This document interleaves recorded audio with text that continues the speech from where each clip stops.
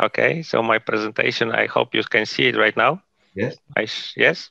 Yes. On the similarity among priority deriving methods for the AHP. And actually, I conducted some research about uh, various priority methods for the AHP. As we all know, there are many of them, actually tens of them. And actually, I was able to select few of them that, uh, in a in a way, that were interesting for me uh, because of the result, of course, that the simulation produced during my research. And the basic objective of the research was to establish a relation between some so, so-called genuine and estimated priority vectors derived from simulated pairwise judgments. And by genuine, I mean that uh, priority vectors that we can uh, compute on the basis on the basis of physical attributes of some objects, like for example, Tom Saaty did once in, in a, uh, on a figures that the mm-hmm. shapes were judged by by some group of people, and also the uh, relative elements, like attributes of those figures, could be computed on the on the basis of the of the of the field for example, right? We can do the same with the mass of objects and things like that. So good or poor relations I thought that will reflect quality of selected estimation techniques and the uh, credibility. And uh, I proposed, uh, for example, uh, such measures as mean Spearman-rank correlation coefficient between estimated and genuine priority vector, mean Pearson correlation coefficient, mean average absolute deviation between those vectors, and average root mean square deviation. And uh, to do the simulation, of course, uh, we need some assumptions. And I did it actually uh, on the basis of the single pairwise comparison matrix, matrix and uh, uh, on the basis of the whole model actually. And the theoretical concept of the whole AHP model, uh, I assumed it will be uh, a model cons which consists of four criteria and four alternatives under each criterion. Uh, of course, uh, we need also some scale to do the comparisons. As we all know, the most known scale is the Tom-Saaty scale, consisted of uh, some intensity intensities of importance you know, from one to nine, and uh, also other scales also exist, but uh, I didn't uh, uh, focus. I didn't focus uh, on on them. however, I am in the middle of my research that I will also examine results from other scales in the typical uh, typical uh, consistent situation, we have the pairwise comparison uh, can be uh, derived, actually computed from this original priority vector. But uh, uh, there are also situations that, of course, the pairwise comparison matrix is inconsistent. So then the pairwise uh, the, the priority vector is computed actually from the pairwise comparison. And i took that actually uh, for the example of the simulation scenario.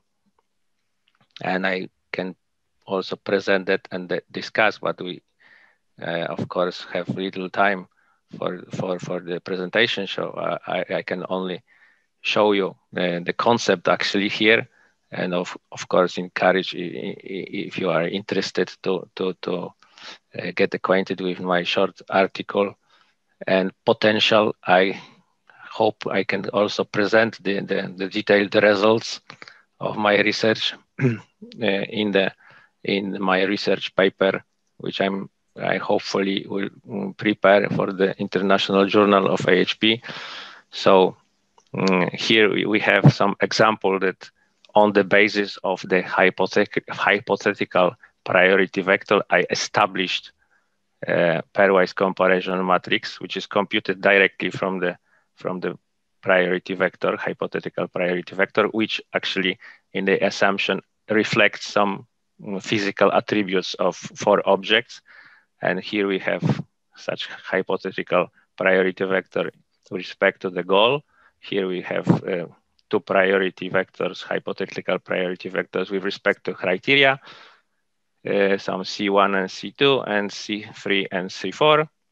And on that basis, I calculated the hypothetical total priority vector. And the same I actually did for the so-called perturbed priority matrix, uh, pairwise comparison matrices.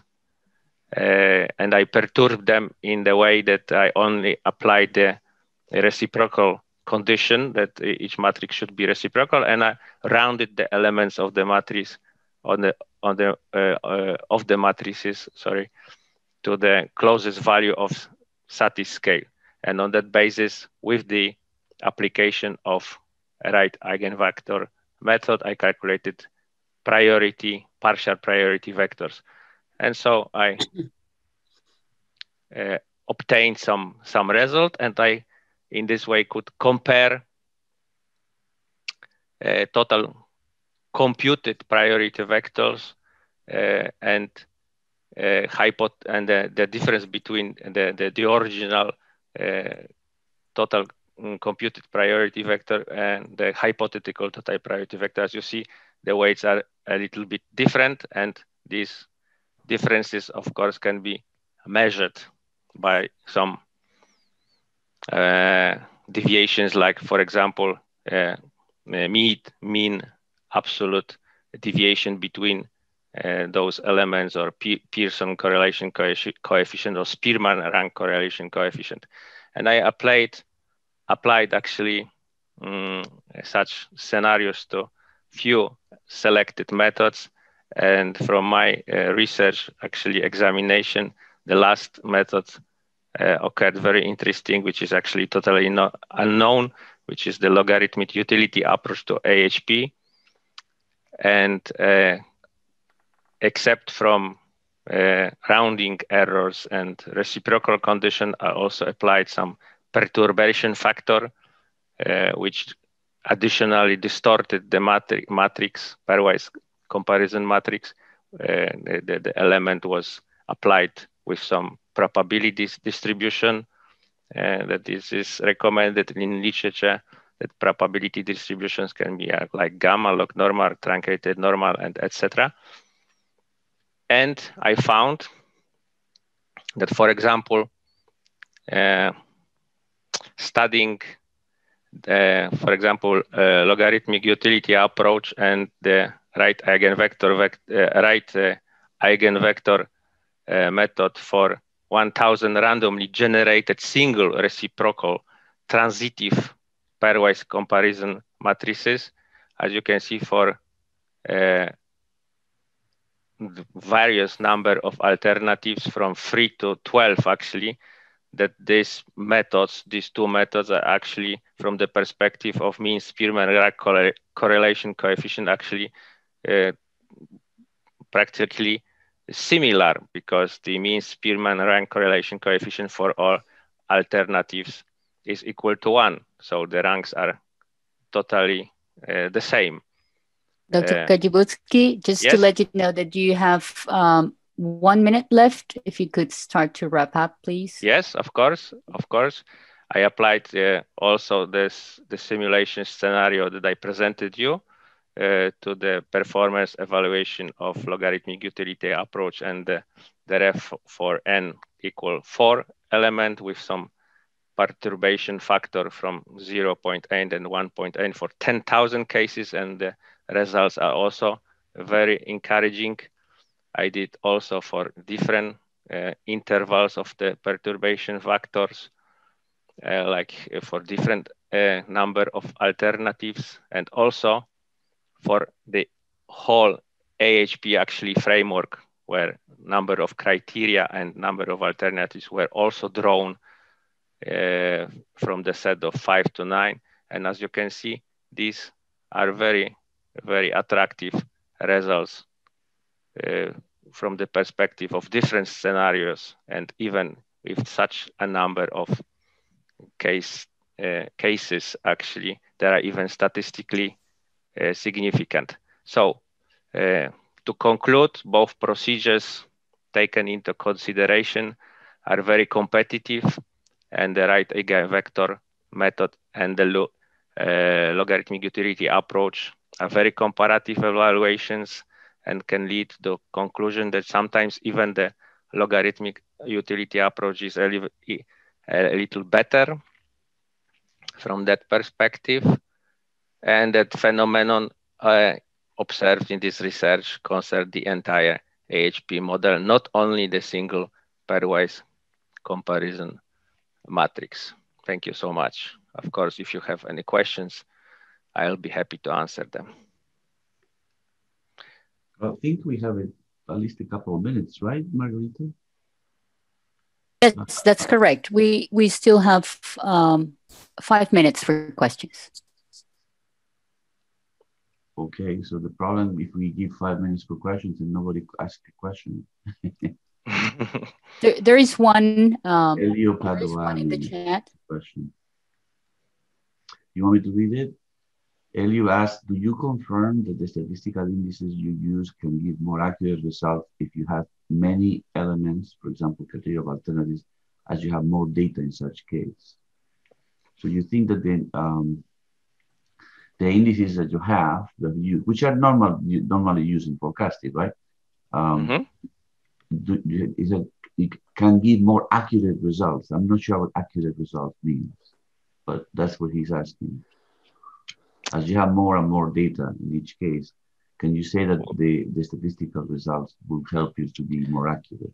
Accurate, uh, I think that uh, the, the, the question concerned concerns the, the, the, number of iterations that I applied. Actually, uh, mm-hmm. uh, they are more accurate in the case that more iterations are applied. I applied, for example, uh, for the transitive uh, reciprocal pairwise comparison uh, matrices 1000 iteration, but for the whole actually um, mm, AHP model, I applied 10,000 uh, iterations. So I uh, perturbed each vector, uh, priority vector 100 times. And also I generated 100 such vectors. So in total, I, I had 1,000, uh, uh 10,000, sorry, uh, iterations if, of course, the simulation expands, uh, for for example, 100,000, the the the uh, the results will be more accurate from the statistical point of view because, as you saw, perhaps mm, uh, maybe I will.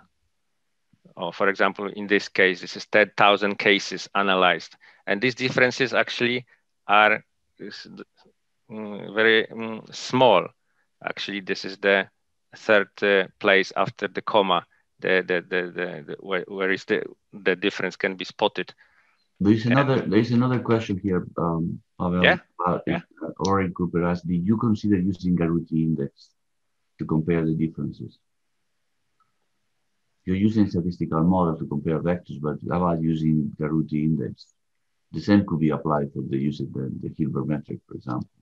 So. Uh, so, so, those are indices people use sometimes to compare the eigenvectors rather than using a statistical approach. Um, I mean, just a question. Well, if you didn't, you didn't. That's the matter.